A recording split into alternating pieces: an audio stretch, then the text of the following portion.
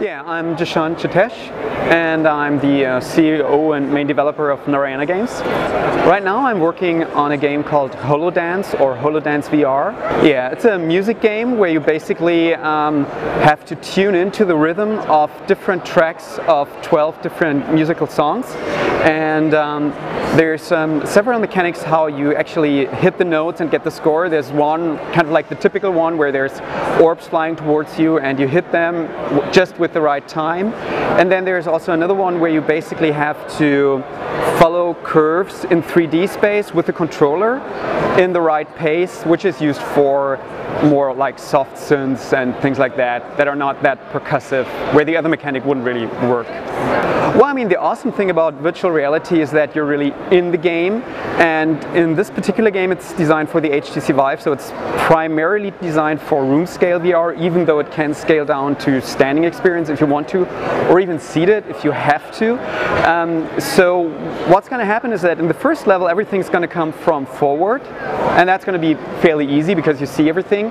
But then in the more advanced levels, which are different songs, also more complex songs, the um, basically things are going to happen all around you. I mean, you will get cues that you don't get something coming from behind of you without knowing it, but you'll have to turn around and you'll also have to move around in the area that you have available. What I'm not going to do is um, pirouettes because that would probably give you trouble with tripping over the wires with the current hardware.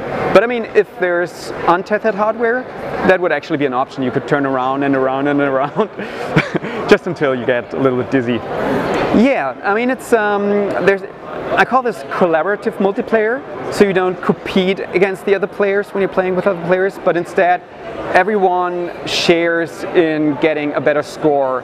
And there's some things I have in there that I'm planning to put in there, like if you hit multiple notes in a row, you get a multiplier.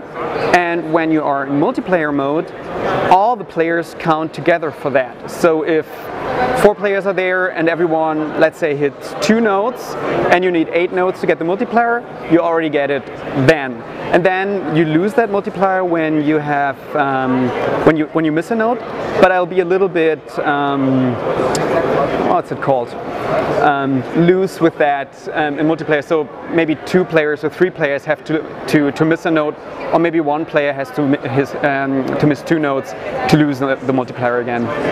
Um, yes, as, as soon as you have some sort of hand tracking, like um, the Sony Project Morpheus is one target platform that I'm hoping to deliver it. So it's hopefully going to be for PS4 and Sony Project Morpheus as well, um, which has the Move motion controllers.